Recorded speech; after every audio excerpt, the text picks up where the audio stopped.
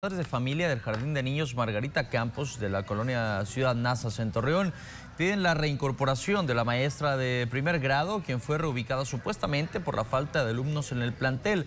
Vamos ahora con Edna Juárez con los detalles completos. Edna, buenas tardes, cuéntanos.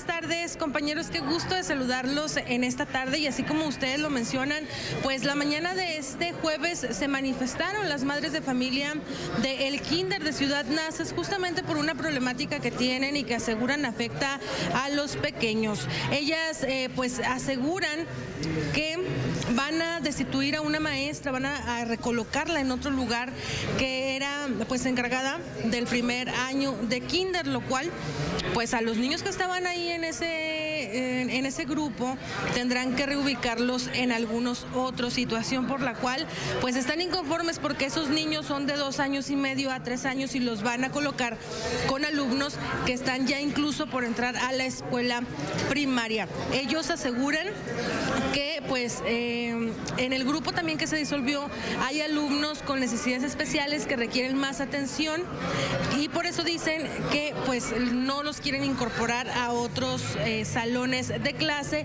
y que lo principal que ellos quieren es pues hablar con la Secretaría de Educación Pública, en este caso con Flor Rentería, para que en todo caso pues em, medie ahí la situación y pueda reincorporar a esta maestra nuevamente al plantel educativo y que de esta manera los niños terminen el ciclo escolar con ella y con su grupo. Ellos comentan que son un grupo de 23 niños y que para completar el cupo serían 30, pero que nadie les avisó y que esta orden estaba desde enero. Aseguran las madres de familia que de haberlo sabido seguramente hubieran podido traer más niños a la escuela para que este grupo se completara debidamente y que en esta ocasión pues no pasara esta situación. Pero ¿qué les parece si escuchamos la declaración?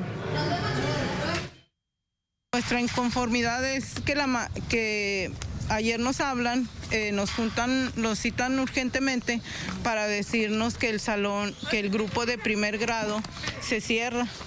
¿Por qué? Porque eh, son muy poquitos niños, entonces este pues la verdad nuestra inconformidad es porque a estas alturas nos avisan, siendo que desde enero eh, ya les habían este avisado a ellas que se iba a cerrar. Entonces ayer que venimos nos encontramos con la sorpresa de que ya la maestra está recogiendo sus cosas y este y nomás nos dicen así, o sea que la maestra ya se va y que van a repartir nuestro el grupo de donde está mi hijo en, en los salones que quedan. Tiene años funcionando con menos niños de 30 y hasta ahorita eh, se está cerrando esa aula. Ahora también el interés es que en otros salones también hay niños con autismo y hay eh, niños de segundo, bueno, el salón que se cierra tiene primero y segundo. Luego hay otro salón que tiene segundo y tercero y con niños autistas los dos. Entonces, ¿qué atención se le va a dar a los niños ya estando todos juntos? Y bueno, pues sin duda este es un tema complicado que tendrá que mediar la Secretaría de Educación Pública en la región Laguna de Coahuila para pues determinar qué es lo mejor que, podría pasar, sobre todo para estos niños de primer año, que como sabemos pues son niños muy pequeños y que sí podría haber algún problema o alguna lesión, sobre todo al estar estudiando con los niños un poco más grandes.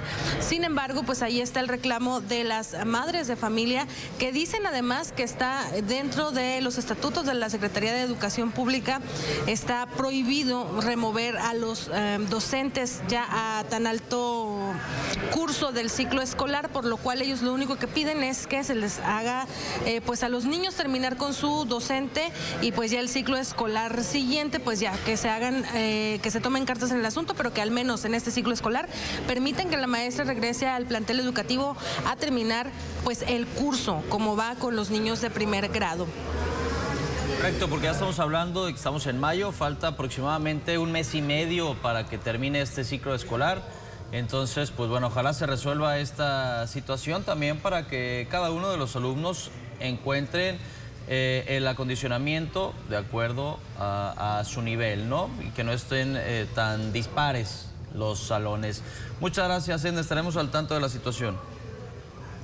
Muchas gracias a ti, Mauricio. Regresamos al estudio. Muy buenas tardes. Buenas tardes.